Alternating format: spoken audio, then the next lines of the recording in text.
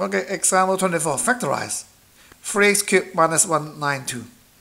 And uh, since this is not exactly a cube number, but it has the power 3, and uh, 192 is also not a cube number.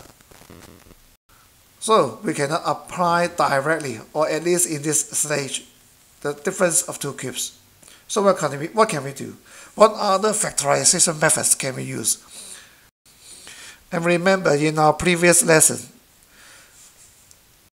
in order to make these numbers much smaller, usually we have to apply the taking out common factor in the first place. For example, we can see that these two terms has the common factor of 3, therefore we can just take out the common factor 3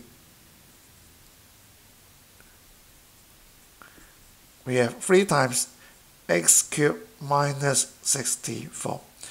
And now we have two cubes here. And again, we can apply the difference of two cubes formula. Therefore, we have the cube of x minus the cube of 4. We have 3 times x minus 4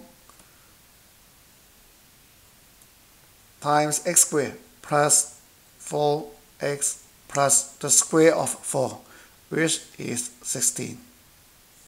And similarly, similarly for part B, 50x, 54x cubed plus 128. We can see that both terms has a common factor of 2. We have 2 times 27x cubed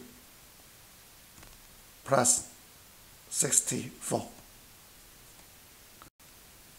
where this will be the cube of 3x minus the cube of 4.